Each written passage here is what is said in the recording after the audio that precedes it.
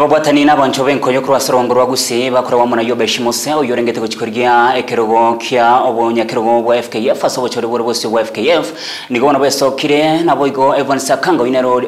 guchya kurigia ekerogo ky'uburiki bochore bwo chitariki sana ibere umutinyi 12 umwaka oyo iga banyarako bagwesoki na komochie ya BCFKF ase county ya Kisii anene magiga yo gutaikirania chinkwana cyabo muno gutenere bwenko imenyense ya Kenya FKF magiga yekimeno kerikia uh, uh, Shabana nabo igo Posta Rangers rituko rya Jumapili uh, rituko rya Jumamosi gutaikiraniwa asigiti kia gusi Stadium. Nibona yobesha kunyara bagotebanga inga kia wachori obu buracyukoreka no mutinyi 12 bana kingango cyora barabara yabaya habo bakubwati nkoyo ase mashinani.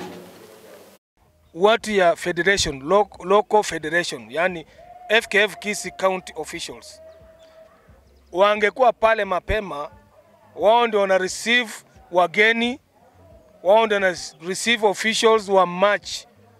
sana sana tukisema ma machcom matchcom na security people.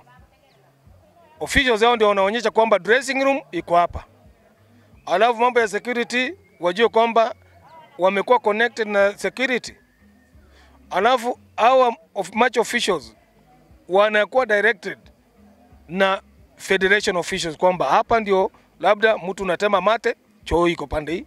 ama ukitaka kurelax unakaa pande hii, ama mkitaka kukula hoteli, mimi nitawachukua kwa hoteli. Kwa shuri wao ndio host,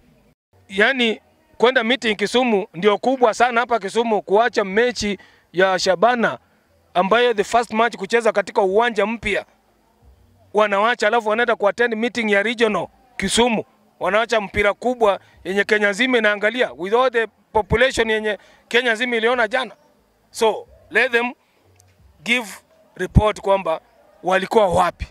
Direction iwe in touch always na teams ikifanya kitu inaitwa sensitization, waelewe sheria fans wawe wakiambiwa sheria kwamba tukifanya hiki na hiki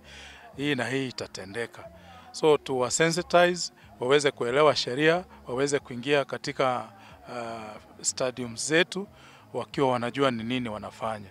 Lakini muhimu, lazima tuwe tukikaa huko katika michezo ikichezwa, federation lazima ikae present ili kama kuna issue kama wanakuja pre-match alafu baadaye wanatoweka,